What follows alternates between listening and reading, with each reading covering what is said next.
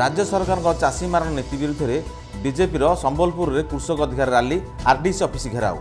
ରାଜ୍ୟ ସରକାରଙ୍କ ଚାଷୀ ମାରଣ ନୀତି ବିରୁଦ୍ଧରେ ସମ୍ବଲପୁରରେ ବିଜେପିର ବିଶାଳ ସମାବେଶ ସହ ଆର୍ଡିସି କାର୍ଯ୍ୟାଳୟ ଘେରାଉ। ଏଥିରେ ସାମିଲ ହୋଇଛନ୍ତି ବିଜେପିର ବହୁ ତୁଙ୍ଗ ନେତା। ବିଜେପି ଏହି ସମାବେଶ ମାଧ୍ୟମରେ ରାଜ୍ୟ ସରକାରଙ୍କୁ ଚାଷୀ ପ୍ରସଙ୍ଗରେ ଘେରିଥିଲା ବେଳେ ରାଜ୍ୟରେ ଚାଷୀଙ୍କ ସହ ବିଜେପି ଅଛି ବୋଲି ବାର୍ତ୍ତା ଦେବାକୁ ଚେଷ୍ଟା କରିଥିଲା। ରାଜ୍ୟରେ ଚାଷୀଙ୍କ ସମସ୍ୟା ନେଇ ରାଜରାସ୍ତାକୁ ଓହ୍ଲାଇବା ସହ ଆର୍ଡିସି ଅଫିସ ଘେରାଉ କଲା ବିଜେପି।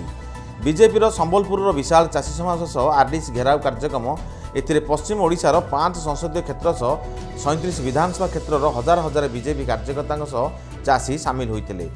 ଏହି ସମାବେଶରେ ବିଜେପି ରାଜ୍ୟ ସହପ୍ରଭାରୀ ବିଜୟ ପାଲ ସିଂ ତୋମାର ଯୋଗଦେଇ ରାଜ୍ୟ ସରକାରଙ୍କୁ ଚାଷୀ ପ୍ରସଙ୍ଗରେ ସିଧାସଳଖ ଟାର୍ଗେଟ୍ କରିଥିଲେ।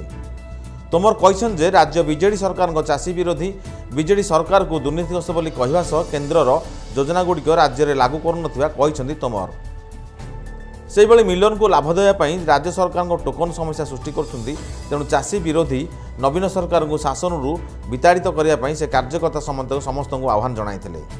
ବିଜେପିର ଆର୍ଡିସ୍ ଘେରାଉ କାର୍ଯ୍ୟକ୍ରମରେ ପଶ୍ଚିମ ଓଡ଼ିଶାର ସମ୍ବଲପୁର ବରଗଡ଼ ସୁନ୍ଦରଗଡ଼ ବଲାଙ୍ଗୀର କଳାହାଣ୍ଡି ସଂସଦୀୟ କ୍ଷେତ୍ରରେ ସାଂସଦ ଓ ବିଧାୟକଙ୍କ ସମେତ ରାଜ୍ୟ ସଭାପତି ସମୀର ମହାନ୍ତି ବିରୋଧୀ ଦଳ ନେତା ପ୍ରଦୀପ୍ତ ନାୟକ ସମେତ ବହୁ ବିଜେପି ତୁଙ୍ଗ ନେତା ସାମିଲ ରହିଥିଲେ।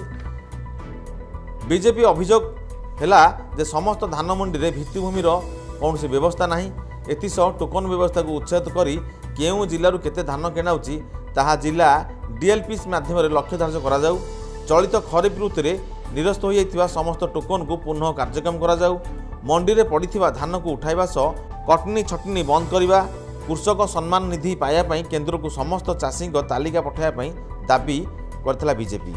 ବିଜେପିର ସମାବେଶ ପରିପ୍ରେକ୍ଷୀରେ ଅଇଁଠାପାଲି ପିଏଚ୍ଡି ପଡ଼ିଆଠାରେ ଏକ ସାଧାରଣ ସଭାରେ ବିଜେପି କାର୍ଯ୍ୟକର୍ତ୍ତାମାନେ ବିଶାଳ ଶୋଭାଯାତ୍ରାରେ ଆର୍ଡିସି ଅଫିସ ଅଭିମୁଖେ ବାହାରି କାର୍ଯ୍ୟାଳୟକୁ ଘେରାଉ କରିଥିଲେ।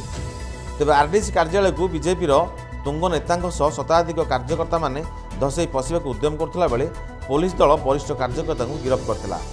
ରାଜ୍ୟର ଚାଷୀଙ୍କ ସମସ୍ୟା ପାଇଁ ବର୍ତ୍ତମାନ ବିଜେପି ବିଜେଡି ପରସ୍ପରକୁ ଦୋଷାରୋପ କରୁଛନ୍ତି।